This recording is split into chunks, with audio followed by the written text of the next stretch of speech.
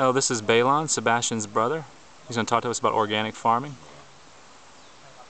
Because I myself doesn't use no fertilizer, nothing. Especially when I just use it.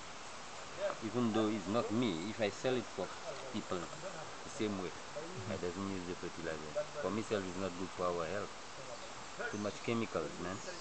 Yeah. So again, how did you make the, the, the what's all composed in here? Can you tell us one more time what what's you said you have coconut? Yeah, coconut, coconut, coconut. I mean manure. Mhm. Yeah.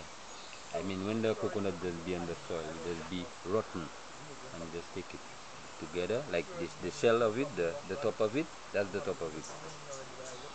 So you're using it, you know. When it's do the manure, you take it together and you mix it with the soil, and that's it. How long does it take to, Put to, to it. Yeah. how long does it take to make coconut into uh, into soil? Well, it takes a couple of uh, it takes a couple of times for it to to to be getting self like to, to make manure with it. It takes a couple of a couple of years, whatever. Not years, a couple of months. Because what what we just do, we have it everywhere, you know. Even even when you cut a coconut tree, the the body the, the the body stay. The rest of it does stay, and after a few years, it does melt, and you know we're taking it the same when we make. Yeah.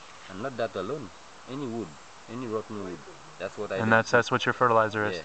Oh, that's I amazing. just take the rotten wood, I myself, that's what my brother does do also. And we mix it with ash, burning ash. Do you guys use any of the rabbit uh, pellets? No. No.